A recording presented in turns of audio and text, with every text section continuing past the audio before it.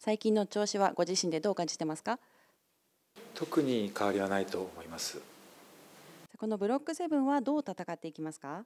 根田君の番手に行きたいと思います。根田選手とは連携ありますよね、はいあります。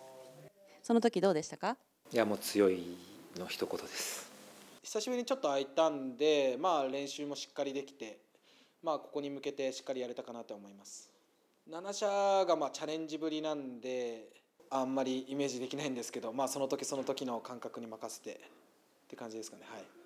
そうですね。みんな僕より点数上位でなおかつ足もスピードもある人たちなんで、まあ、その中でも自分のあの力を出し切ってあの勝てるようにはレースはしたいです。さあ今年初めのレースは静岡でした。感触はどうでしたか？そうですね。あの、まあ、決勝に乗れたんで良かったと思います。そこからここまでは練習などどうでしょうか？しっかり当てたんであの強めにやってきました。林選手の戦い方は？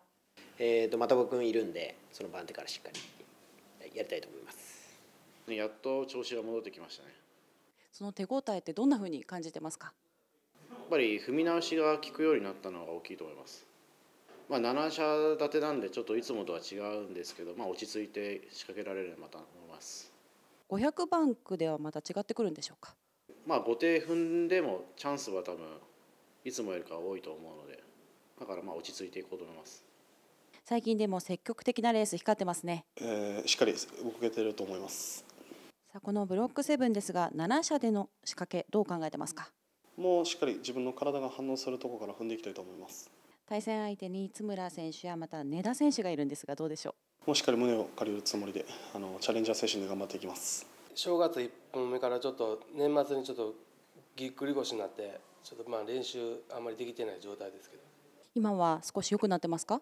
だいぶ良くなりました。このブロックセブンですがどう戦いますか？福岡の津村君の番手で頑張りたいと思います、えー、10日近くあったのでまあ、あの室内練習ですけど自分なりに納得いく練習ができました。ちょっと7人のレース始めてたんですけども、まあ、根田君の3番手からいきます。根田選手も頼もしいですよね。あもう強いんでそうですね。しっかりついていくだけです。ただここは直線が長いので最後チャンスありそうですけど。えそうですね。あの一生懸命踏みます